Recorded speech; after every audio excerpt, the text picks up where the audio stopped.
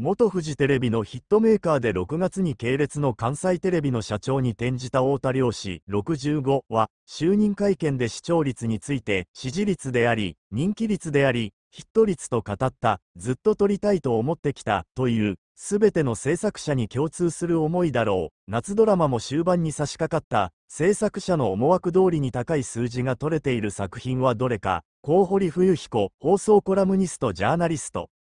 写真、沢口靖子が披露した大胆な水着姿、かつて東宝シンデレラでグランプリに輝いた18歳当時と現在を比べてみた。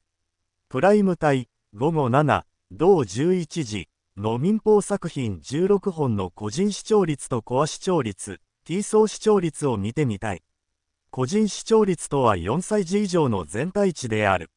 コア視聴率は調査対象を13、49歳に絞った個人視聴率で、この数値が高いと CM が高く売れる。T 層は13、19歳の個人視聴率で、テレビの将来を左右する。8月12、18日、ビデオリサーチ調べ、関東地区。1位 TBS、ブラックペアンシーズン2、日曜午後9時。18日放送の第6回は個人が7.0%コアは3.2%で1位、T 層は2.1%で2位。2位フジテレビ、海の始まり、月曜午後9時。12日放送の第7